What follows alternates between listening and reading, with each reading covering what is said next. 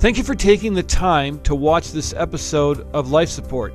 If you enjoy the content, we would ask that you like it, hit subscribe, and share it with your friends. Welcome to Life Support. So glad to have you here. We are at the Waymaker World Conference in Orlando, Florida, sponsored by the American Association of Christian Counselors. And this is great because we're surrounded by thousands of counselors that are really called to bring you closer to Christ. And that's what trauma does. And that's why we do this program.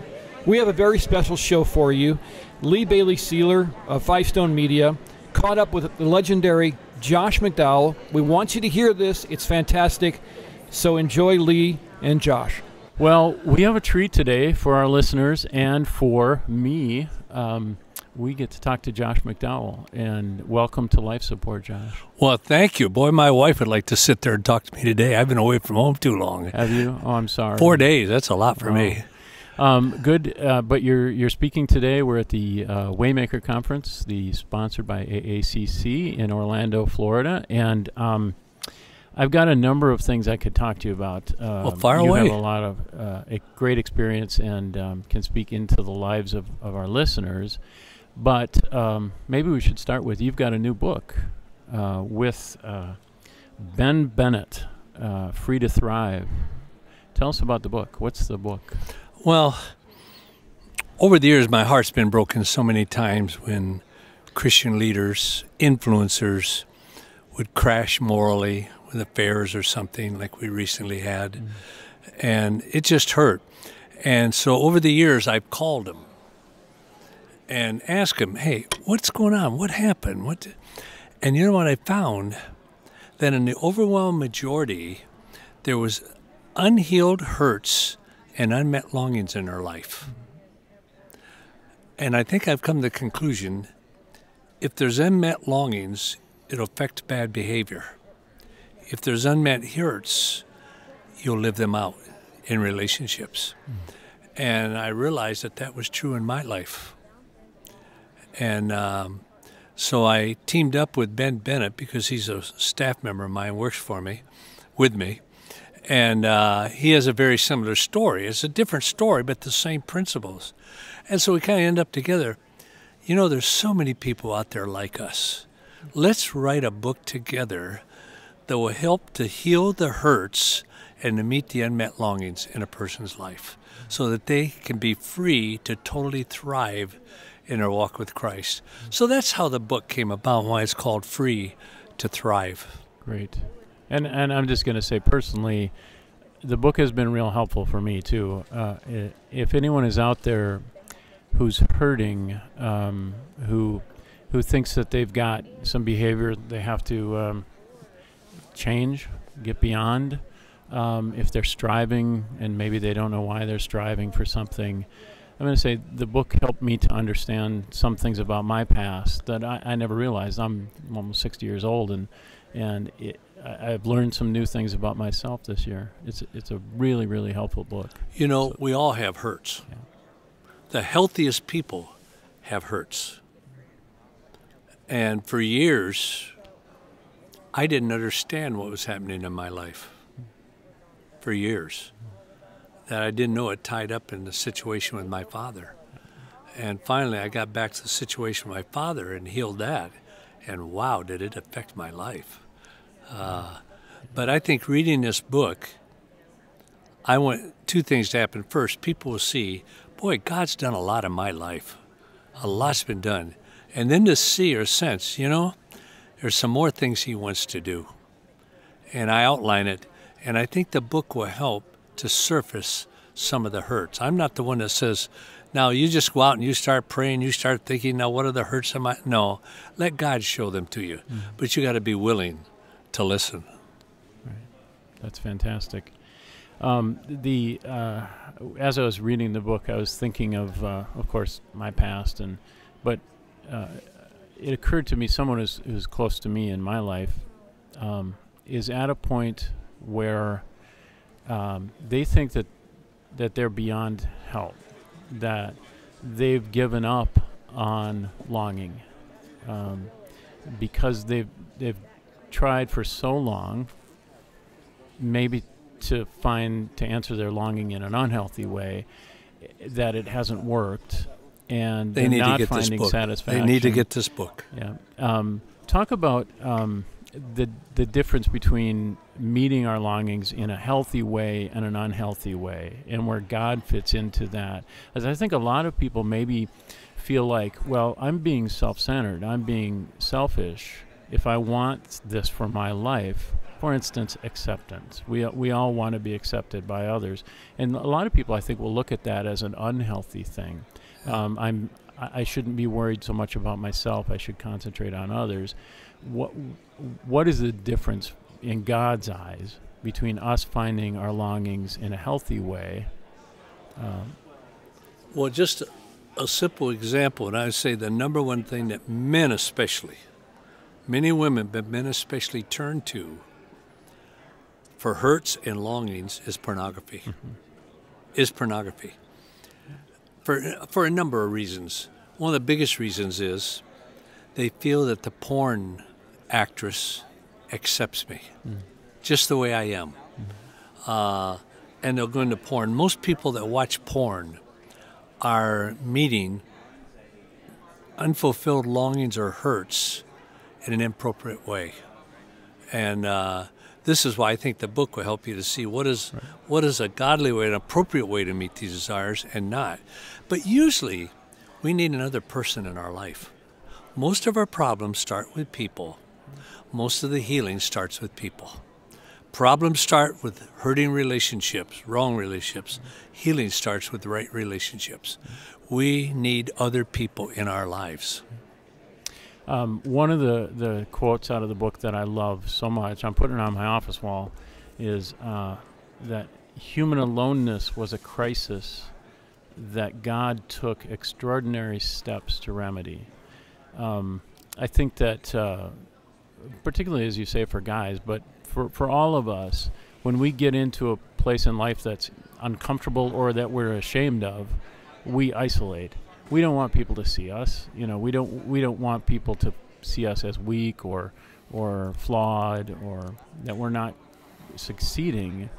Um, and so we tend to isolate. I know that was true in my life, and I have a, history of addiction. And, and when I was in my active addiction, I was isolated. I because I just couldn't do a relationship. It wasn't in me.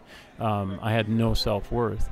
Um, talk about, and particularly lately, the, of course, the last year and a half, um, we've been isolated in a new way, um, sort of self-imposed, but um, for some people, absolutely necessary. So, talk about um, the way isolation feeds into uh, just reinforcing those negative, unhealthy ways of, of meeting longings. Is When we isolate ourselves, we cut ourselves off from people. And when we cut ourselves off from people, we cut ourselves off from ministry in our lives. I think every one of us as men and every woman should be in a, I like to call them care groups, small groups with other women or with men, uh, if you're a man, that is very honest and open. Because if you don't have people around you that love you enough to confront you, you almost always turn to unhealthy behavior. Uh, and today, as I said before, and I'll say it again, usually they turn to porn. They'll turn to porn. 90, 91.5% of men in the last month have watched porn. 60% of women. And that's huge. It's hard to believe it's, it's amazing. uh, that. And um, what it means is there's a lot of un, unmet hurts and longings in a person's life. And so it's, we would try, one way we try to do it is by start to live a performance life. We have to perform to be accepted. And not accepted for who we are in our very basic nature and and um, our, our character. We start to perform. And when you start to perform, you usually become more and more lonely as a result of it. And I don't so how a person will live a performance life, I don't know how they can ever have the joy of Christ in their life. because you always have a fear you're not doing enough to be accepted. Uh, we need to realize that we need to be accepted for who we are, not what we do. Now, what we do should magnify who we are. Uh, what we do, you should be able to see on the outside who we are on the inside. And um, one of the steps here is to what is your perspective of God? Uh, I wrote a book called See Yourself as God Sees You because we need to see who God is and that He has the capacity to love us totally unconditionally for who we are with our faults. And once I realize that God accepts me the way I am with my faults, I'm not who I used to be. I'm not who I ought to be. But by God's grace, I'm not who I'm going to be. But God wants me to enjoy that process, that journey with Him. And once I see who God is, now accepts me unconditionally. And then I'm able to accept myself unconditionally, then you're normally free to be real with other people. Mm.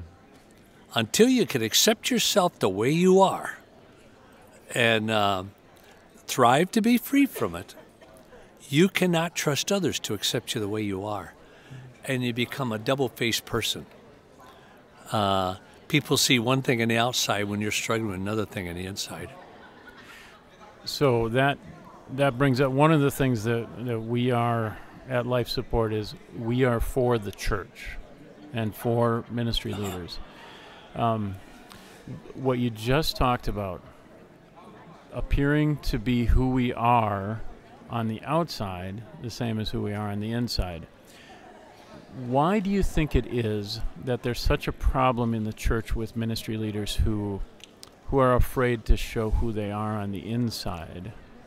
Um, and uh, what can you speak into their lives about transparency and being honest and open with their struggles? I would say one, even though you're a pastor, a staff member, whatever, you don't see how God sees you. You're ignorant. Um, until we see who God is in His very nature, and then see how does God perceive me, uh, you will always be covering it up as a leader, whatever. And leaders have as much problems as as quote followers, I just like to say influencers, have as much problems. Pastors are people. This is why pastors need accountability. The board should hold pastors accountable. They should build a relationship with the pastor, know the pastor, share with the pastor, uh, because most pastors feel they have to go it alone. And you might as well go sell used cars if you feel that way. Pastors need people they trust in their lives. Because if you don't have people who trust in your lives, you're not going to have people who are honest with you.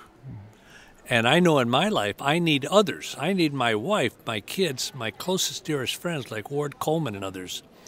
I need them to see who I am on the inside. They're honest with me and everything. And without that, you cannot thrive. And uh, so you need to see who God is, how He accepts you, that it can lead to you accepting yourself. Once you can accept yourself, then you can trust others to accept you the way you are and be authentic. Not cover up, not be a fake, not live two lives, be authentic. And, and, leaders in an organization, whatever it is, even a church or, or whatever, um, when that happens in a leader's life, it becomes systemic, right? Um, it it gets transmitted to everybody. Everybody sees that it's okay, and um, they know that uh, who who I am on the inside is. I'm is not okay. sure everybody sees they're okay, because most pastors and leaders are personality A, like I am, and personality A can cover up. Personality A has a capacity to. That's one of the downsides of person has a has a capacity to fool people, to cover up your hurts and all, and. Uh, so I don't think most people see it.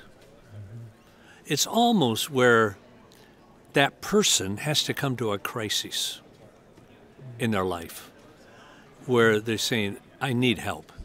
Until you get that sense of, I need help, no one can help you. And so often you need to come to that crisis. And uh, then, and this is what happened in my life. Uh, I just knew there was something wrong. Here I was out running a global ministry, seeing, I mean, literally affecting millions, seeing hundreds of thousands come to Christ. I mean, 150 some books out, uh, being listened to by people all over the world. And I'm grateful for that. But at the same time, I said, I got a problem.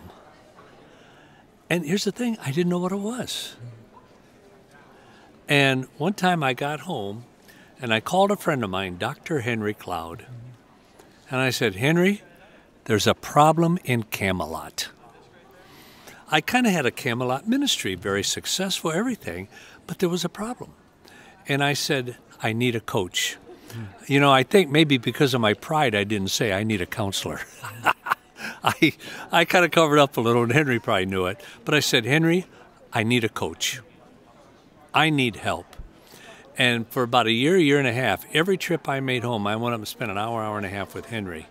And uh, for the first half of the year, I think he mainly just listened to me. He would ask a question and just listen. And then he started to speak into some of the hurts of my life with scripture and all. And uh, got down to what, and it was something I never dreamed was a part of my life. It got down to what it is and a phrase that my father had told me when I was young. I was about maybe 9, 10, maybe most 11 years old. We're walking out to, I still remember the place I was standing everywhere. And he said, You know, you were an unwanted child. We really didn't want you. And the only good you're for is to work the fields. Now, my father had been drinking. If he was sober, he never would have said that. But he'd been drinking. That staggered me. And you know, that affects me to this day. I can still feel that emotion when I think about it, everything. And Henry helped me to walk through that. Uh, and I felt like I always had to perform to please people. I had to perform to be accepted by my dad. Now, isn't that amazing? A dumb, stupid statement by my father has affected me for 82 years. Well, since I was six, uh, 75 years. I'm 82 years old. I don't feel like it, but I am. Uh, and it affects me to this day. That's how powerful dads are, especially in a child's life. Uh, and so I couldn't discover that myself. I needed help. Mm-hmm. And I, I say to so many people, you need counseling more than going to church and having a counselor at the church talk to you. Most counselors at churches are wonderful, but they're not trained. Uh, they can hold your hand, share some scripture with you, and that's about it. And I'll tell people you need professional counsel, which will cost you some money. Cost me a lot of money. It was the best money I ever spent. But I needed someone like Henry Cloud. And another man that really helped me, oh, and was a dear friend, Bob Beal. I don't know if you ever heard of the name Bob Beal. He lives in Orlando. And that's where we are right now, isn't it? Yeah. Yes, it is. He lives here. And he's a executive counselor consultant for corporations. Oh, does that man have wisdom? Oh my gosh. He helped me so much uh, that uh, he and Henry Cloud, and then my wife. Ah, I often say when my wife married me, she took on a whole lot of problems. I mean, a whole lot of shortcomings. And I never knew a woman could love a man as much as Dottie loves me. It's supernatural. My wife has changed my life as much, if not more, than Jesus has. Hmm. By the way she loves me, her wise counsel. Uh, she'll point out something in my life. Now, when she does it, I kind of resent it. Deep down in, but I'm always thankful. Uh, and so those three people, huh. Henry Cloud, Bob Beal, and my wife Dottie. Without them, I wouldn't be sitting here being interviewed by you. It's so important to have a team, isn't it? Unless you were interviewing homeless people. I um, I, I, we don't have a, a, whole lot of time left, five minutes or so, but I, I think it would be remiss if I didn't ask you. Boy, if you this. don't have much to say, 5 I've minutes is a long it's time. a long time. I've got uh, I've got to ask you about young people a little bit. Um, you've been around, as you say, for uh, quite a while, and you've been in ministry for a long time, um, and uh, around youth for, for, a long time. Almost my whole life. Yeah. Um, talk about um, what it's like for, for young people today. It, the world is so challenging for all of us, but for yeah. young people, it's really different, I think. The world is always challenging, and the world is always challenging for young people. Uh, every generation, I think, it's harder to raise kids now than they used to be. Every parent feels that way. But I would say it might well be true today. Why? Because of the cell phone. Most young people are growing up connecting with their friends, but not relating with their friends. And when you just connect with people, you start to have a lot of negative behavior in your life and feelings and thoughts. Um, and that's why one of the top five epidemics in every, now this is important every culture of the world every country. And it wasn't started by uh, um, covid. It was magnified and enhanced by covid is this loneliness it was here before covid and believe me, it's going to be here after COVID. But COVID has magnified it and and enhanced it. But most kids, I would say 90% of young people today are lonely because they're only connecting, they're not relating because of the cell phone. And uh, this is where parents come in.